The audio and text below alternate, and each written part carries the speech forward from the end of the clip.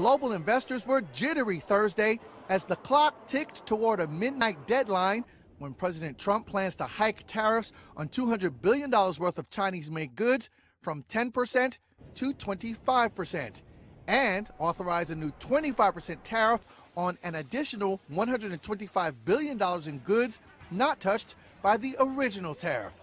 Trump on Thursday showing no sign of changing his mind. I did get last night a very beautiful letter from President Xi. Let's work together. Let's see if we can get something done.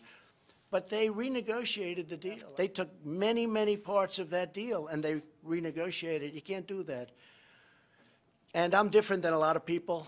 I happen to think that tariffs for our country are very powerful. That means a tariff bump will now sit awkwardly in the middle of two days of trade talks in Washington. China's Commerce Ministry responded on Thursday. China hopes the United States meets China halfway and resolves problems through dialogue rather than unilateral steps.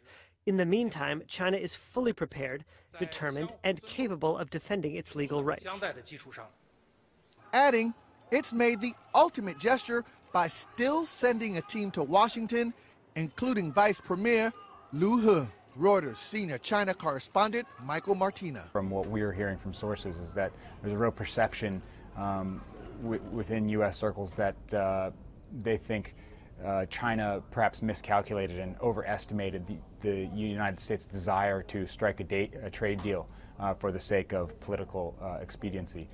Uh, as one source said to me, um, Liu He would have to go to Washington and, and, create some kind of miracle to prevent tariffs from going forward. Observers had until recently thought there was an end in sight. But Reuters revealed exclusively on Wednesday that Trump ordered the tariff hike after White House negotiators told him China was backtracking on almost all aspects of a draft agreement made last week.